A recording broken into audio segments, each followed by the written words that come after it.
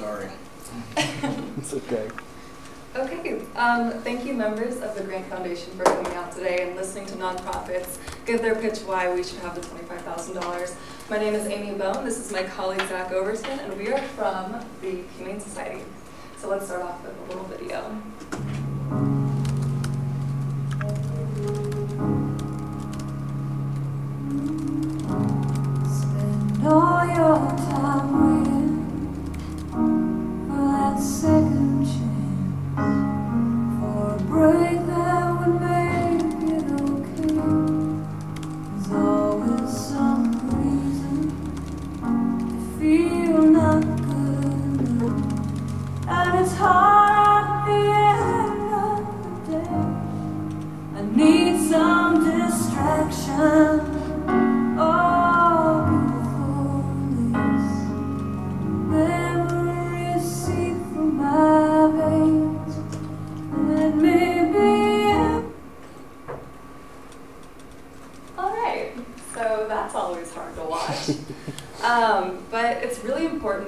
Understands just exactly what's at stake for these animals.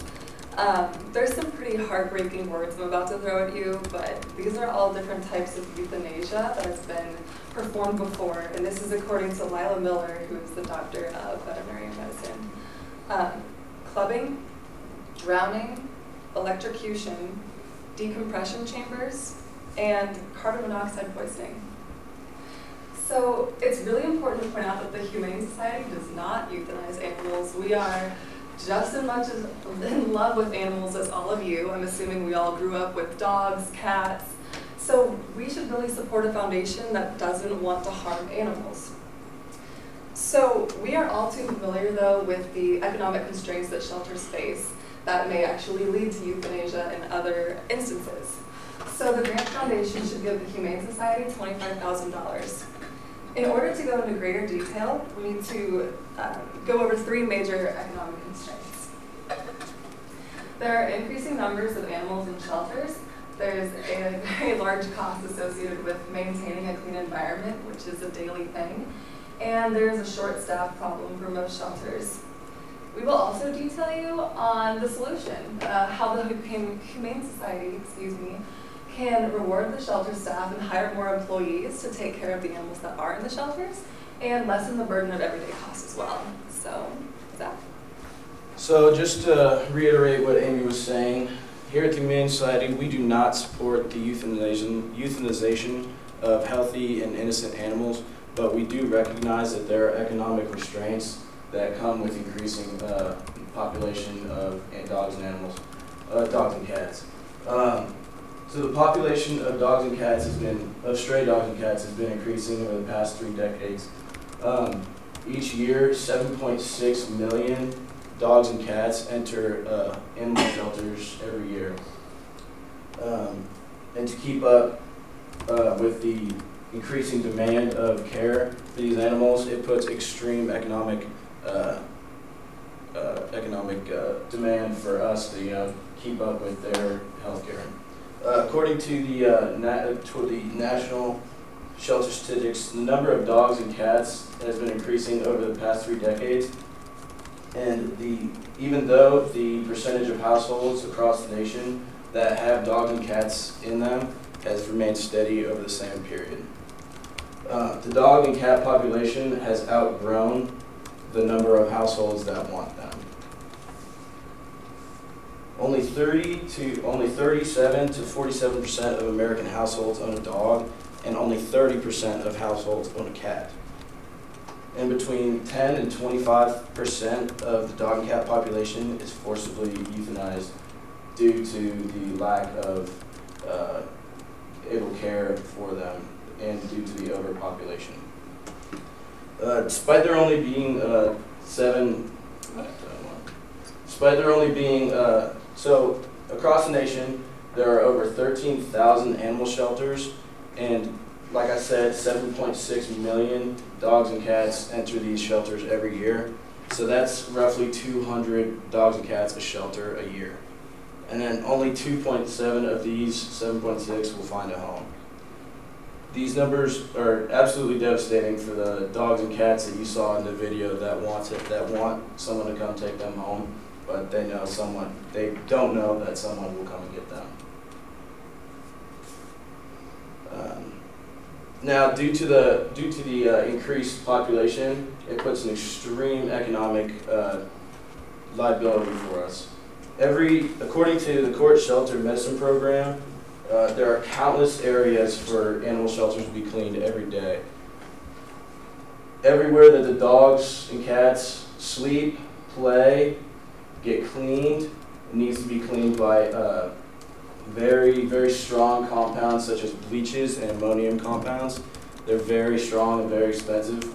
Uh, not to mention every, every space that the dogs and cats are housed in, there's also uh, human areas that need to be cleaned as well, such as hallways, lobbies, and offices.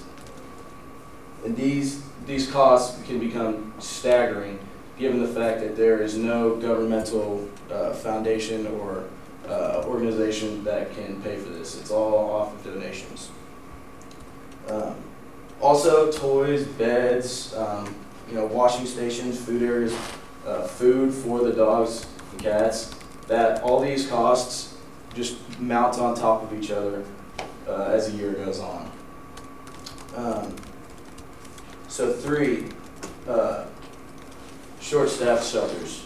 There's 14,000 stray animals in a pro. Oh, this is okay. So according to Ted Cox, a, uh journalist uh, in Chicago, uh, animal shelters are low. They are so low staffed. It's not even funny.